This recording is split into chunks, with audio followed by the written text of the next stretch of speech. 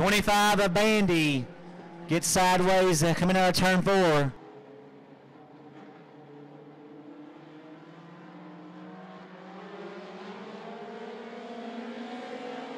Right, off and racing with a four-cylinder heat race.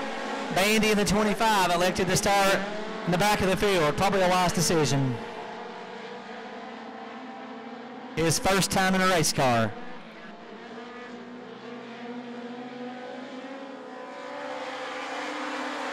Twenty-one of Gregory out in front.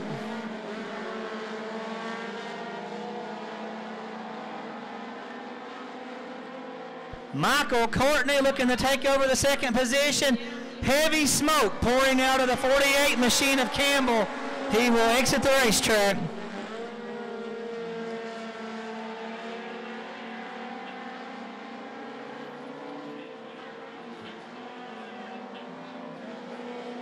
Twenty-one of Gregory in the lead over the C11 of Courtney, and the W12 of Woodley right there as well.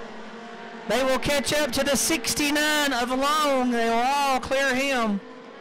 And what a race for the lead. Gregory holding on to the lead over Michael Courtney and Ryan Woodley.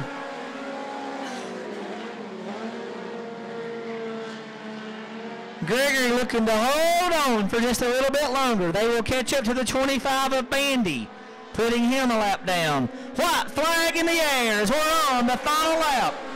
Courtney trying to hold on for second. Little bit of contact made, Woodley and Courtney. In the meantime, the 21 of Gregory going for the win, and he's going to get it. And second will be the C11 of Courtney, holding off the 12 of Woodley. And goodness gracious, Woodley on the infield into the tire. So not exactly the ending Ryan Woodley had in mind.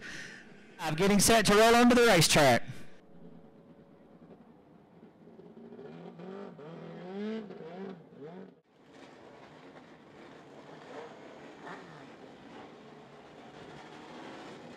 All right, here we go. 15 laps for the four-cylinder division.